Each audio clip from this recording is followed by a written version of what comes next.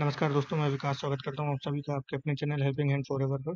दोस्तों, आज जो आपको यहाँ बताने जा रहा हूँ कि जो आपने देखा कि एक्सिस बैंक में आज अच्छा खासा जंप देखा गया और क्या न्यूज़ थी जिसके कारण ये लगभग 14 परसेंट की भी ऊपर आज ये जो है ट्रेड कर रहा था। तो चलिए इस बारे में जानकारी देता हूँ। तो यहाँ पर आप देख सकते हैं कि स्टॉक ने लगभग तेरह दशमलव चार छः परसेंट का जंप दिया था। और क्लोज हुआ था तीन सौ सतासी रुपये पैंतीस पैसे पे कहाँ पर बॉम्बे स्टॉक एक्सचेंज पर? जी हाँ बी पर। और एन पर इसने जो जंप दी थी वो थी fourteen point two three percent की और ये सेटल हुआ था तीन सौ नवासी दशमलव नौ ज़ीरो रुपये पे।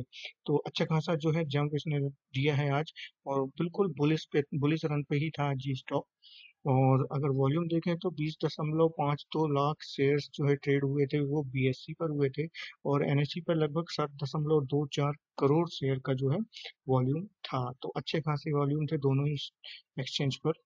अब यहाँ पर कुछ रिपोर्ट्स आ रही हैं जिनके द्वारा कहा जा रहा है कि जो अमेरिका की प्राइवेट इक्विटी फर्म है कार्लाइल वो इन्फ्यूज कर सकती है वन बिलियन यूएस डॉलर जी हाँ one billion US dollar Axis bank में इन्फ्यूज कर सकती है, जिसके ज़रिए वो आठ परसेंट शेयर वो ऑन करेगी एक्सिस बैंक में।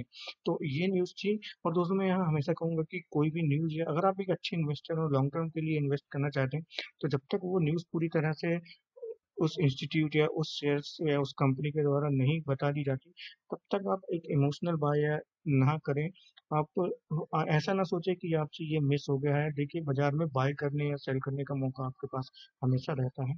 तो यहाँ आगे जो है एक्सिस बैंक ने कहा है कि उन्होंने क्लैरिफिकेशन दिया है कि इस मैटर में कि हमने ऐसी कोई भी चीज़, कोई भी क्लैरिफिकेशन नहीं किया है और ये एक स्पेकुलेटिव न्यूज़ हो सकती है क्योंकि ऐसा कोई भी डिसीज़न लेने के पहले हम एक्सचेंज को इन्फॉर्म करेंगे इस मैटर में।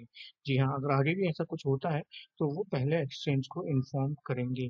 तो हालाँकि यहाँ पर बैंक जो है पूरी तरह से बोल रहे हैं कि इन्होंने कोई भी अभी इस तरह का डिसीज़न नहीं लिया है एक्सिस बैंक के द्वारा।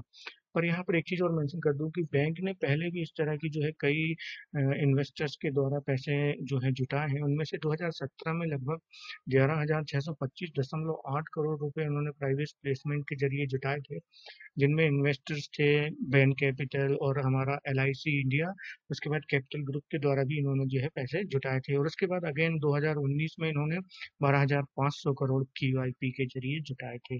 तो ये था दोस्तों एक छोटी सी डेवलपमेंट या कहा जाए जो खबर एक्सिस बैंक की रिगार्डिंग आ रही थी।